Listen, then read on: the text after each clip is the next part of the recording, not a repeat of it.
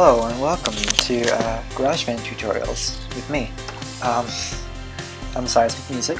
I'm a producer. I make music primarily in GarageBand, but I'm also familiar with Logic, Linux Multimedia Studio, and a host of other music production programs. Now, um, I'd, I'd like to do some tutorials on GarageBand. I've been wanting to do tutorials for a very long time because I get the feeling that people are typically, they have this stigma there's a stigma about GarageBand that it's for you know for beginners, and it it is a very good tool for beginners, but it also is a very powerful program that has a lot of potential, and I think a lot of people don't realize its full potential. So I'm going to do some tutorials to show you just what you can do with GarageBand. So I'm going to start out by just doing a tutorial on how to make a song, just the basics of adding instruments and constructing your song, not really the theoretical part of you know, music theory, but just the mechanics of how, how to make a song in GarageBand. So let's get started. It's really pretty simple and it's very intuitive, so uh, you can figure it out on your own, probably anything that I don't mention. So by, to, to start out, we're just going to go ahead and you know start start a new project in GarageBand. And that's accomplished by either the first time you open GarageBand, you'll get this screen that's up right now, or you'll uh, you can just go to File, New, which it won't let me do right now because I'm in the window already, to do File, New, it'll come up with this screen right here. So what you're seeing here, you're seeing a whole bunch of icons for look like different different instruments, and these are for different styles of projects, depending on what you want your GarageBand project to uh, to be or to accomplish. So we've got, for example, we've got keyboards, uh, guitar amps, uh, we've got for uh, audio audio recording, voice. Uh, if you want to make a ringtone, you can make a ringtone. It's pretty cool, actually. It's a cool feature hip hop uh, drum. These are mostly mostly um, electronic drum machines, um, electronic synthesizers, and songwriter, which is mostly for recording instruments also from your using your microphone. And then empty project finally. Now I usually start um, with just an empty project. I like to start with a clean slate and just do everything myself to avoid just the confusion of the software putting in whatever it wants to put in for me. Um, I'm just going to take a quick break here also to apologize in advance for the wind noise you're going to hear on the computer, which is actually the fan on my laptop running. That's what you get when you buy a MacBook Pro with high performance graphics. You get the fan running constantly. And I'm recording, you know, screen recording, and um, I've got GarageBand open, which tends to gobble up a lot of RAM. So um, if you hear the fan running in the background, I'm sorry about that. I can't really avoid that. Muddy. So, um, right, so back, back to the tutorial. So we're, we're just going to start with a new empty project here. So we've got that selected. If you go down here and you click this little tab next to where it says details, you're going to get a whole bunch of other options uh, that, that you can customize your song template with. So here we've got tempo, which is you know the, the beats per minute of your song basically. You've got your key signature, which you can change what, what key your song is in. C flat. Right. Uh, major, minor. Um, you got your time signature here, which you can actually change to like pretty much any time signature there is, or you can set your own. Um, then you've got your audio input and audio output, which is basically just um, which which output you want your computer to use, whether it's headphones, speakers, Bluetooth, and then your input, which would be either the built-in microphone on the computer or a microphone, an external microphone that you plug into your computer. Um, for me, I always leave it on system setting because whatever outputs and inputs my computer has set in system preferences will carry over to GarageBand. So that's typically what I leave it set as. So for this example, we're going to go ahead and um, we're to go ahead and put the tempo at 128 BPM, which is a typical like electronic, you know, music uh, thing, right?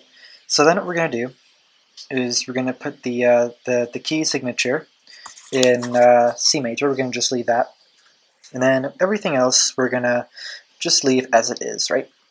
Then we're going to hit choose down here. And it's going to open up our new project. And here we are. Alright, so now we've started a new project here. And uh, we've got a whole bunch of icons here. We're already being assaulted with information. So we've got a number of icons here that are different, that look like different instruments. So we've got, uh, this, this is basically what your first track in your project will be uh, what, what instrument it'll be. So we've got uh, first we've got our first choice is software instrument, and what a software instrument is is uh, it's any instrument that in which the computer is synthesizing the sound for you. So an instrument that you're not playing, that the that it, the sound is being played through the computer, right? Uh, so that's what a software instrument is. So it'll pull from all the sound uh, instrument libraries that GarageBand has built in. Um, so pianos, keyboards, guitars, uh, drum kits, even uh, synthesizers, of course. Um, so that's what you use most of the time. It's what I use most of the time. Then you've got your audio input, uh, which is if you want to record um, audio with a microphone, either yourself singing or maybe an instrument like a guitar or something like that, um, you can put in a audio track. Um, then, of course, you've got a guitar track, which GarageBand has a whole library also um, of guitar and bass amp emulators um, and effects pedals. So you can basically use your computer um, as a guitar amplifier, which is really, really cool. Um, another really cool feature um, that's in GarageBand that I use occasionally. Um, then you've got a drummer track as well, which what that'll actually do is it'll lay down a drum beat for you based on what's in your song, based on the style, and it's very highly customizable. Um, lots of drum kits, lots of styles. So I'll, I'll go over that more uh, in depth later, maybe in another tutorial. Um, but for right now, let's go ahead and add in a software instrument track. So we just click software instrument and click create. And here we go. We've got musical typing here, which I'll, uh, I guess I'll explain now. Basically, it assigns each key on the keyboard to a key on your keyboard, on uh, uh on your actual like physical computer keyboard, um, which is kind of cool, but uh, also it's also very difficult and impractical to use, so I don't really use it very often. Um, so I'm just going to go ahead and click out of that. There we go.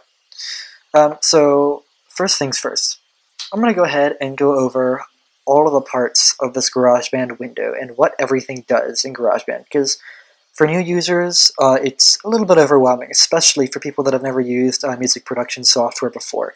So I'm going to just sort of go over and do a brief explanation of what all the buttons and what all the areas of the window do. So the first things first, up here, in the upper left, we've got um, the library on the left side of the screen here.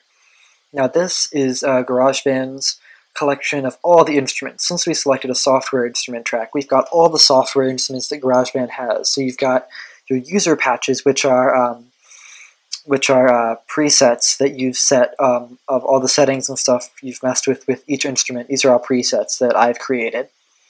You've got basses, drum kits, electronic drum kits, uh, guitars, mallets, vibraphones, pretty pretty cool, um, orchestral, brass, choir, percussion, etc.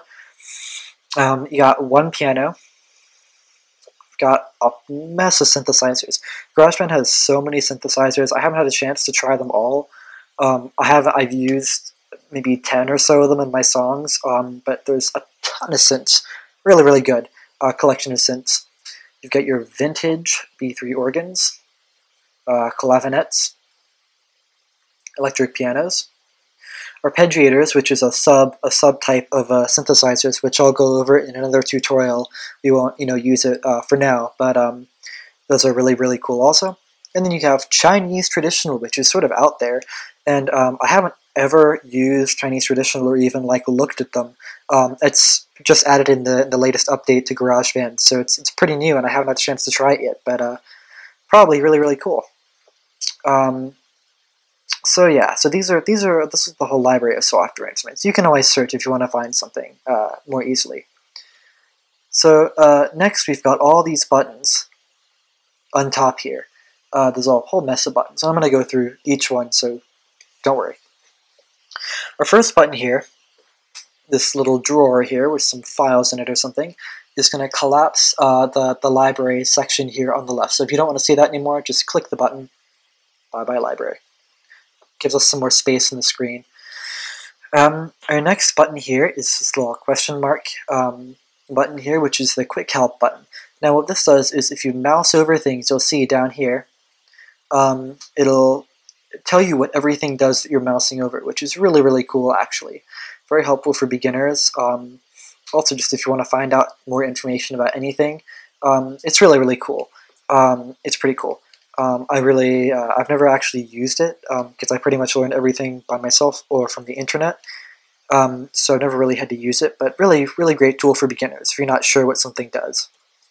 Next, you've got the smart controls here, which uh, I'll go over in more detail later once we've added some instruments here. But this just gives you some knobs and effects and things like that, basically to control every attribute of your uh, of your instrument. Next, you've got the track editor here, which is for editing uh, your regions of notes or uh, sound of audio in your uh, track that you have selected. Um, so that's for making more fine adjustments to the actual notes um, in your song. So uh, I'll go over that again in more detail once we've added some instruments. Then you've got your, uh, your um, control buttons here. You've got rewind, fast forward, and you can see it skips forward one bar at a time. Pretty cool. Uh, then you've got your skip back to the beginning button here, and and or stop. Uh, and you've got play, You've got record, also pretty self-explanatory. Um, and then here you've got this neat looking little like LCD uh, screen at the top, which shows you your project info. Now, first off, we can switch this between project info, which is what it's on right now, or time. Time shows you how far you are in the song, and it actually shows you, you'll see, it has now switched the tick marks to be in seconds instead of bars, which is pretty cool. Um, yeah, so you can go back to beats and project here. And you can actually adjust these values here um, by just double clicking on them. So for example, if you want to skip to bar 5, let's say just double click, let's do bar 5, maybe beat 2, uh, division 7, and just hit enter. There we go, now we're exactly where you want to be in the song. Cool. Then you can always just skip back. Then you got your tempo here, your BPM, which we can change to put it at 128 like we specified in the uh, in the new project window. There we go. Then you've got your key, the key of your song, uh, which you can switch. Pretty, pretty cool. All right. Then you've got your time signature, which you can actually change. So let's say that we're uh, crazy. and we're going to put our song in 364 time. Wow, okay, we got a lot of tick marks now. It's crazy. Um, I'm not terribly comfortable in writing songs in 364 times, so I'm going to switch it back to 4-4, if that's alright with y'all. There we go. Um, and then we have the loop button here, which loops a specific section of the song. And you'll see if we enable this, we'll get this yellow bar here. Um, and then it, we can we can drag the ends of it here, click and drag to change the length of it. So for example, if we put the yellow bar over just bar 2 here and we hit play, or you can hit spacebar to play and pause the song, which I think is much easier than clicking play. So hit play, and you'll notice when it reaches the end, it goes back to the beginning and loops forever until you pause it. And if you skip back to the beginning, if you hit the skip beginning button once, it'll skip back to the beginning of the loop. Hit it again, it'll go back to the beginning of the song. So pretty sweet. Next, you've got the, uh, the, the tuner. So if you have your guitar plugged in or a microphone, you can tune your instrument using GarageBand. I found that the tuner is not the best uh, that a tuner you can buy for a guitar, you know, or something like that, or you know, uh, is a lot better than GarageBand's built-in tuner, but it gets the job done, and it's it's a pretty cool tool to have um, in case you need it. Next, you've got the the count in control here, which is for recording. So with this turned on, if you hit record, it'll give you four clicks of the metronome It'll give us four clicks of the metronome, and then it will begin recording. It's pretty cool. So now, uh, the if we we, we, we can't actually change um, how many how many clicks of the metronome we get or how long of a count in it gives us. So if we go up here to record, count in, we can set it to two bars instead of one bar, or you can turn it off altogether. Uh, you can set it to two bars, and now you'll see it should give us eight clicks of the metronome before it starts recording. So here we go. And there we go, now it's recording, except remember, there's nothing to record because we're in a software instrument track and not an audio track. So since we don't have a, uh, a MIDI keyboard with us at the moment, uh, we're not actually uh, recording anything into the software instrument track. So now, uh, the next thing we're going to look at is the metronome button, which, as you might expect, gives you a metronome. Um, it's very similar to the uh, to the, the sound you get when you turn on count in, except it'll be doing the entire time the song is playing. Now it won't render in the recording, so you won't hear the metronome clicking in the recording um, of the of the final song when you export it from GarageBand. Um, but uh, but it it'll help to give you sort of um, give you the, the tempo if you're playing along an instrument or recording yourself singing or anything like that um, in your song. So first, to, to, to, enable that, let's go ahead and turn off um, count in here. And you'll see if we turn on the metronome here by clicking this button right here, and we, we press play, it'll click the metronome for every beat in each measure. And there we go. Cool. Awesome. All right, so we've we've got a few more buttons uh, and sliders and stuff here in the top bar to discuss. So uh, one thing that we do have here now, we have this slider, which if you'll notice looks a lot like the volume slider on the track. And of course, when you click it, it actually says volume, just like the one on the track. Now, there's a difference between this volume slider here and the volume sliders in the track, and that is that this volume slider here at the top of the screen on the, the top toolbar here, um, this, this slider here controls the master volume. See if you mouse over it, you got master volume. And I'll, I guess I'll go into a brief explanation of what, uh, what the word master uh, means, or one of the applications of the word master in music production. So when you say uh, master anything, like master volume, uh, master equalizer, master effects, master track. Uh, these are these are all attributes that that control. Um, uh, the, they're they're all controls of attributes of the track as a whole or the the entire song. So if you think about master volume, you're talking about the volume of the entire song, not individual instruments. Or the master equalizer controls the levels of each frequency for the entire track. Um, and master effects will be effects that you add uh, for the entire song. So in this case, we have the master volume knob here. So if you turn this up to 6, the entire song will get louder. Or if you turn it down to infinity, then you will hear nothing because you have your volume effectively muted. But we're going to put it back at 0. There we go. Our next button here is the notepad, which is actually a really cool feature of GarageBand that I'm glad they included. And basically what it is, is it's, it does exactly what it sounds like. Uh, you click it, and it gives you a notepad in GarageBand you can type into. Cool. Ugh. Cool. You can type some stuff out. Maybe you can type your lyrics into there. Um, you know, just or notes to yourself about what you want to what you want to do with the song and your future career as a music production because of my amazing tutorials. Anyway, uh, enough about that. But uh, so let's let's go ahead and close the notepad. Um, next, uh, we're going to go over one button here, and we've got a loop. Now this is the Apple Loops uh, tab menu, which, holy crap, there's a lot of stuff in it. Um, Apple, Apple Loops are really, really, really, really great. Because um, if you're not very musically minded, um, you can just drag and drop your loops in until you got something that sounds cool, and then you can copy and paste it around a bit, you know, and then add some more loops, etc. And then, you know, you can have a song. So loops are really, really cool um, for use. However, people tend to overuse loops sometimes, which um, can kind of get on the nerves of some music producers, um, especially with GarageBand loops, because people that use GarageBand or Logic or Apple products know right away when they hear an Apple loop in a song, you know, or a you're a documentary, you know, or anything like that. Um, so use use, in my opinion, they should be used sparingly, but I wouldn't say not to use Apple Loops because they can be really wonderful tools if you're uh, new to uh, to the music production scene. And I'll, I'll, probably do a tutorial later on Apple Loops, but uh, for right now, we're just going to collapse the Apple Loops tab and um, go on to the next button, which we've got the Media Browser, which is something I have never ever used in my entire life or career using GarageBand.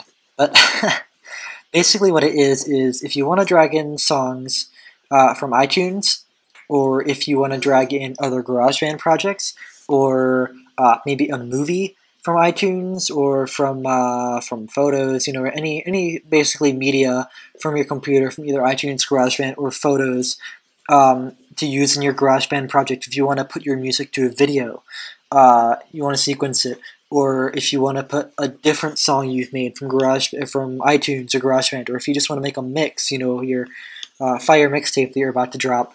Um, yeah, just you know, you can drop that in from the media browser. It's uh, it's pretty cool. So we're just going to collapse that, and that's that's it for all the buttons on the top row. So now um, we're going we can actually get to uh, starting to making our own song. The real question is, of course, have I gone over? Um, have I gone over mastering? Okay, scratch that. We're not going to start working on our song yet. There's one more thing to go over that I very nearly almost forgot about, and that is, of course, all the controls here on each of your tracks. Now, you'll see as we add more tracks, every one of the tracks here on the left is going to get uh, a set of these controls here that you see um, on the track. And I'm actually going to show all of the controls because some of them are currently hidden. So just so you know, in case you see them uh, in your in your project, uh, you'll know what they do. So I'm going to go ahead and unhide everything. Okay, there we go. Now we've got them all. Okay, so all right, what do all these do? So um, your first thing you have here, it's very basic. This is the icon. This shows you what instrument uh, your track is, and sometimes it won't be correct necessarily because GarageBand sometimes doesn't know uh, what instrument your track is if you define it yourself and don't use one of GarageBand's presets. So if you ever want to change it, just right click on the icon. It gives you this whole huge menu here uh, of um, a bunch of different uh, icons. So for example, let's say that this is a piano, but you know what? We want it to be a dog. There we go. That's a dog. Dog. Piano. And that is, of course, the, uh, the, the title of the track, which you can change. It'll default to whatever instrument you assign the track, but if you just double click it, you can just type in whatever you want there. It's pretty cool. Um, below that here, you've got the mute button, which basically what it does is it does exactly what it says. Again, it mutes the track and every other track in the project will still play. It'll only mute that one track um, that you click that button for. If you click the mute button on multiple tracks, it will mute all of those tracks that you have muted. The next button here is the exact opposite of mute. It is the solo button. And the, the solo button uh, plays only that track and mutes every other track. So uh, sort of sort of like the, uh, the mute button. If you, uh, if you solo multiple tracks, you'll hear only those tracks in the project, and all of the others for which you have not soloed will be muted. Next here we've got the track lock, which um, makes sure, which uh, allows the track, or which mm, I guess, which uh, doesn't allow the track to be recorded into. So um, conversely to that, uh, if, if you enable um, uh, recording here on the track, if you enable recording for multiple tracks and then you hit record, you will actually be recording into multiple tracks in your project. Uh, so you can hit record enable for a bunch of tracks, and then maybe you don't want one out of five of your tracks to be recorded into, just hit lock, track lock, and it will not let you record into that track. Pretty cool. Next, we have the volume slider here, which just like the master knob controls the volume, but this time it only controls the volume of that one track. So if you double click the volume slider here, it'll give you a value that's in decibels, and you can type in anywhere from 6, which is max, to negative infinity. So we could type in negative 108. It's negative 108 decibels. Actually, negative 95 is the least, unless you want it entirely muted, looks like. But let's go ahead and set it back to 0. Alright, and the last thing here we have is the pan knob. Now, the easiest way to explain um, panning is basically if you set the pan all the way to the left, which is what L stands for, um, then all of the sound from that track will come out of the left speaker or the left channel um, of your audio device.